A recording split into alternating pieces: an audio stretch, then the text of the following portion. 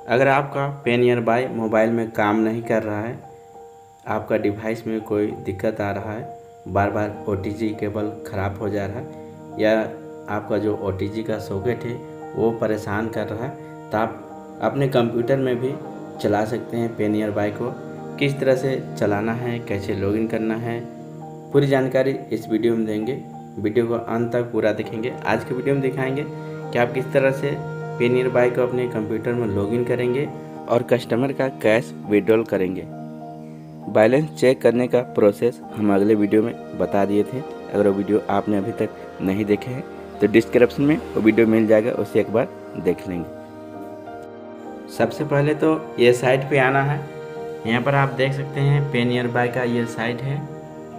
अभी ओपन हो रहा है। इसका लिंक वीडियो का डिस्क्रिप्शन में दे देंगे, वहाँ से डायरेक्ट आ सकते हैं। लॉगिन पे क्लिक करेंगे। और रिटेलर पे क्लिक करेंगे।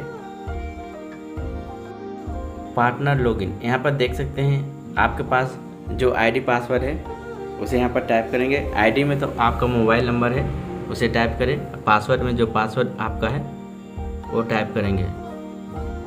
उसके बाद लॉगिन पे क्लिक कर देंगे।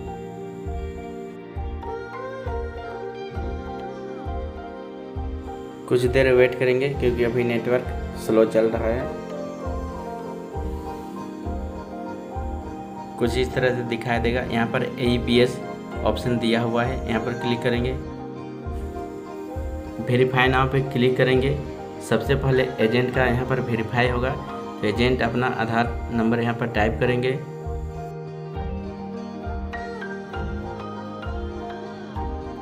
कंटिन्यू पे क्लिक कर देंगे।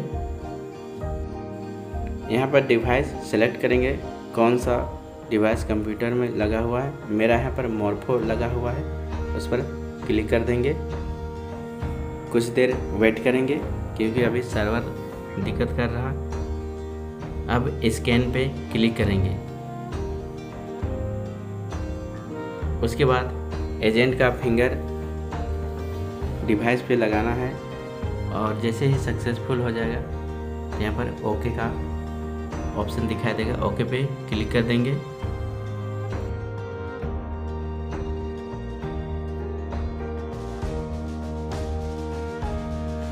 मोबाइल नंबर यहाँ पर टाइप करेंगे, कस्टमर का मोबाइल नंबर यहाँ पर ले लेना है और टाइप करना है। सर्च पे क्लिक कर देंगे। अब यहाँ पर आधार नंबर टाइप करेंगे। जिसका भी बैलेंस चेक करना है, आधार नंबर टाइप करेंगे।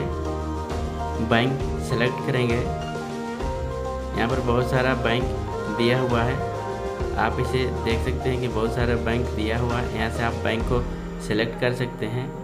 या तो सर्च में टाइप करेंगे वो बैंक का नाम। जिस बैंक से कस्टमर का पैसा निकालना है, यानी कैश विड्रॉल करना है, यहाँ पर बैंक ऑफ़ इंडिया को हम सिलेक्ट करेंगे।